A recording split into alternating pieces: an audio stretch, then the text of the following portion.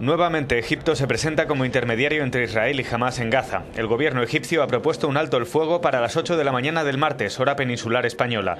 El lunes, los ministros de Exteriores de la Liga Árabe se sumaron a la propuesta en el Cairo. El alto el fuego duraría 12 horas. Además, la Liga Árabe quiere una reunión entre el gobierno israelí y Hamas en las 48 horas siguientes a la declaración de alto el fuego. Se celebrarían en el Cairo. En cuanto al lado israelí, en el asunto palestino, los israelíes no aceptan las decisiones de la Liga Árabe ni acatan las resoluciones del Consejo de Seguridad de la ONU.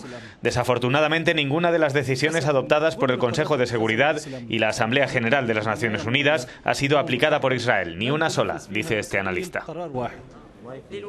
En los últimos siete días de operaciones militares en Gaza, Israel ha matado a 178 palestinos. En torno a una tercera parte eran militantes de Hamas y el resto civiles. Según fuentes israelíes, la propuesta egipcia incluye la entrada de la policía palestina en territorio de Hamas. Para nuestro corresponsal en el Cairo, los esfuerzos de los países árabes y de la comunidad internacional no pueden prosperar si ambas partes en conflicto no renuncian a los objetivos que se han fijado para este enfrentamiento. تحقيقها. محمد شيخ إبراهيم يورو نيوز القاهرة.